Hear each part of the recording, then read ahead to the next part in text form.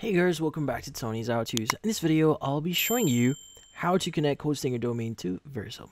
Before we start, hurry up and check out the software just under this video. So, connecting your Hostinger domain to Vercel is actually pretty simple. So, first thing that you want to do is you want to go ahead and just go to Hostinger here, and you want to go to Domains, click on Domain Portfolio, and access your domain here. Let's go and click Manage. Now, also, you may want to copy your actual domain here, but once you've done that, let's go and click on the DNS slash name servers at the website here, and we are now good. So next is you want to access your Vercel account. So go to vercel.com, log in, and access your project that you want to connect your uh, domain.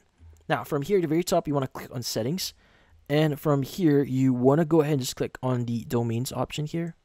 So once you've added that, what we need to do is we want to go and just start adding your domain. So in this case, uh, there are going to be some information here. So you can set up redirects to another domain here. Additionally, you can associate domain with particular Git uh, branch. But yeah, let's go and click on add here. And let's go and add our domain. So let's just paste the domain that we just copied. Choose your production or preview, whichever environment you want to uh, add here.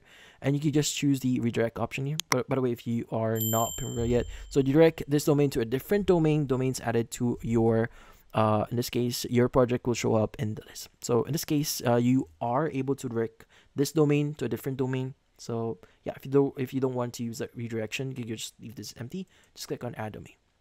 Now you have the option here or three options. You have add default domain, which is the recommended option here, but I would recommend you to use the very first one, which is the recommended option here, and just click on add at the bottom right.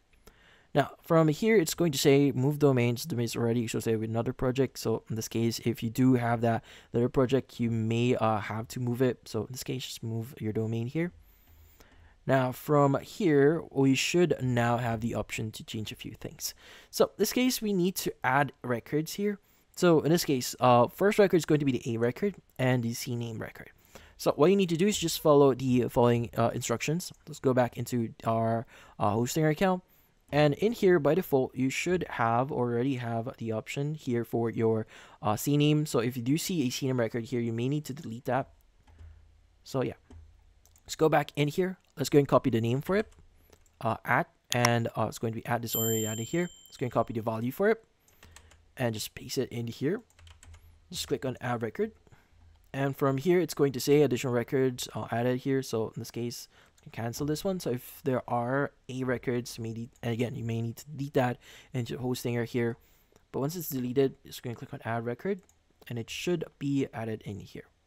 So yeah, so it should be added as you can see right now.